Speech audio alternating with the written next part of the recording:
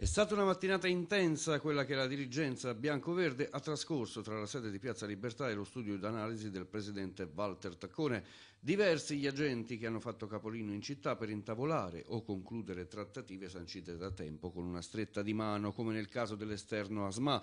Il vero incontro di giornata però è stato quello con l'agente di Stefan Bidawi, il marocchino di passaporto belga che due anni fa a Crotone fece faville con Drago in panchina giocando da esterno d'attacco.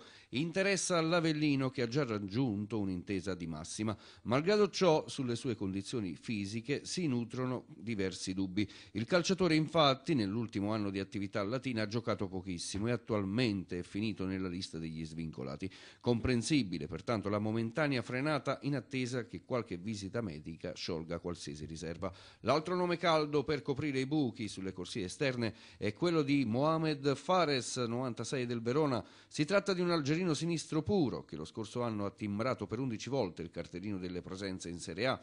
De Vito lo aveva già inseguito invano l'estate di un anno fa e adesso è tornato alla carica, approfittando del dialogo aperto da tempo con i Veneti per il difensore Alejandro González, centrale di difesa uruguagio, classe 88 ex Ternana, che dovrebbe prendere il posto di Angelo Rea, calciatore al quale non sarà facile far fare la valigia senza metterci dentro una sostanziosa buonuscita.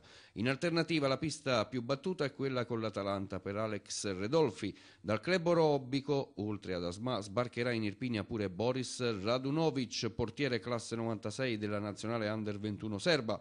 Ad Asma sulla corsia sinistra, nel caso in cui dovesse davvero partire Visconti ma stanno sorgendo diverse difficoltà, bisognerà aggiungere un altro esterno. Per adesso il nome più gettonato è quello di Mattia Aramu, di proprietà del Torino, che in cadetteria ha già avuto esperienze con Trapani e Livorno. In mediana infine non è detto che l'attuale organigramma composto da Rini, D'Angelo, Paghere e Omeonga resti inalterato. Mimmo Toscano, fin dal suo primo approccio con De Vito e Taccone, ha sempre richiesto un elemento in grado di poter dettare i tempi della manovra esprimendo una certa qualità.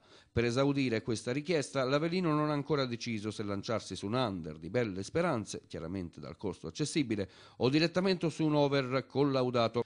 La scelta in realtà è vincolata al destino di Angelo D'Angelo. Dovesse partire, infatti, De Vito lo rimpiazzerebbe con un parietà, diversamente busserà alla porta di qualche club di Serie A per il prestito di un talento in erba.